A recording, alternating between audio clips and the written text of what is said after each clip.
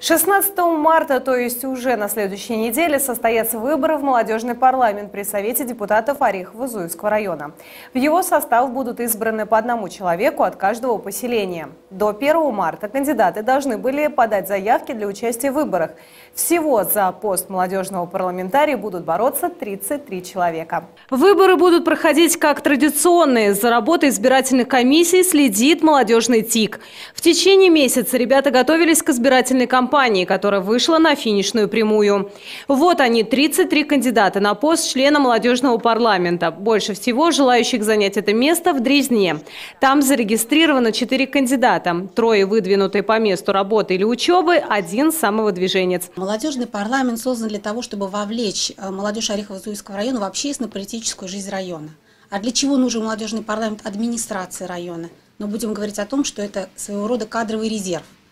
Поэтому, естественно, кандидаты самые активные, самые достойные, самые политически продвинутые. Каждый член молодежного парламента будет отстаивать интересы по реализации молодежной политики своего поселения. Чтобы принять участие в выборах как в роли кандидата, так и в роли избирателя, молодому человеку должно исполниться 14 лет. Однако на момент выборов ему не должно быть больше 30. Выборы пройдут 16 марта в общеобразовательных учреждениях с 12 до 3 часов дня. Досрочное голосование будет организовано 12 марта в территориальной избирательной комиссии по адресу Октябрьская площадь, дом 2.